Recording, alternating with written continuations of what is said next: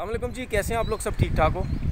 आ, simple सी चीज़ है मैं पहले भी कह चुका हूँ मुझे बड़ा अफसोस हो रहा है कि हमारे जितने भी एक्स क्रिकेटर्स हैं अब फिक्सिंग के बारे में शुरू हो गए हैं। आमिर सोहेल साहब को देखो वो शुरू हो गए हैं फिर उसके बाद दोनों चेयरमैन खालिद महमूद साहब ने बात की आरिफ अली ख़ान अब्बासी साहब ने बात की फिर अताउर रहमान साहब शुरू हो गए हैं। फ़लाने फ़लाने बंदे इन्वॉल्व थे जब मैं मरूँगा तो मैं नाम लूँगा।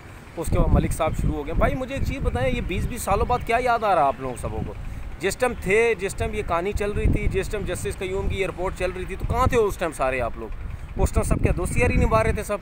उस टाइम मुल्क की फ़िक्र नहीं थी? अब मुल्क की ज़्यादा फ़िक्र लग गई है। अब ज़्यादा फ़िक्र लग गई है आप सबों को कि फ़लाना इन्वॉल्व था, फ़लाना इन्वॉल्व नहीं था। जब रिपोर्ट तैयार हो रही थी, जब कोर्ट में सबको बुलाया जा रहा था, जब सबको बारी बारी जब सबसे पूछा जा रहा था, किसने बोला था बयान आज चेंज करो?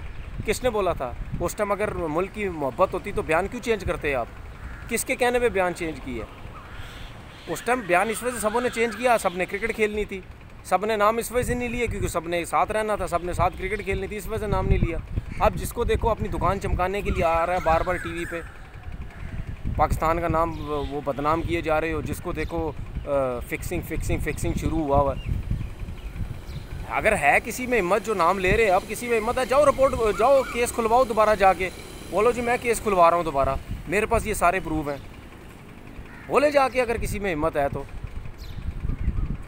ये टीवी पे बैठ के सिर्फ़ कहना, वो मेरा बयान चेंज करवाया, मेरा ये करवाया, मेरा सब कुछ वो करवाया। तो ये मेरे ख्याल में ये ये बातें करना तो फजूल है ना भाई। जाओ अगर किसी में हिम्मत है, चले जाओ। बोलो जाके कोर्ट में कि ये कयूम, जस्टिस कयूम साहब की रिपोर्ट जो केस जो ये दोबारा खुलवाना चाहता हूँ, क्योंकि इसमें बहुत सी चीज़ें गलत है।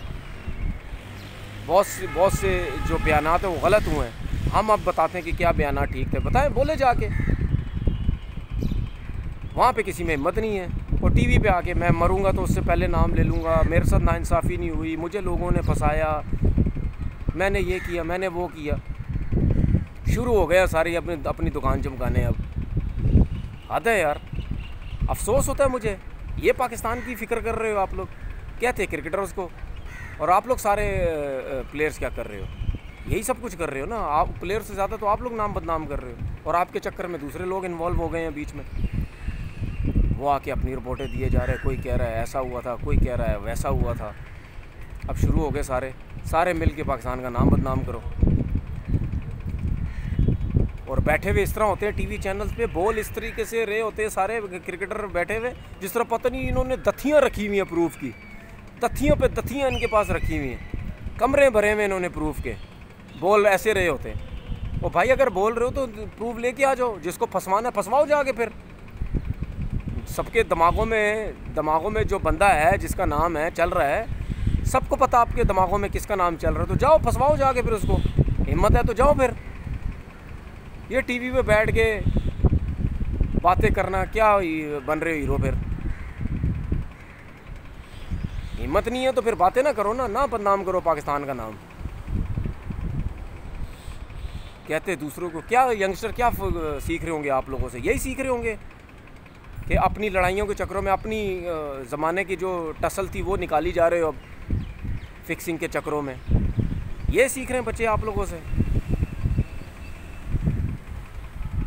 कोचिंग तो सही तरीके से कर नहीं सके सारे। तो इन्हीं चीज़ों पे ही उनको सिखा दो कि ये बातें नहीं करते, जो बात भूल जाते हैं उसको भूल जाओ। छोड़ो, पाकिस्तान का नाम बदनाम होगा। यही सिखा दो बच्चों को। लेकिन पता नहीं क्या आप लोगों से कोई कोई चीज़ सीखेगा भी नहीं सीखेगा। अपना बहुत बहुत ख्याल रखिएगा। अल्लाह हाफिज़।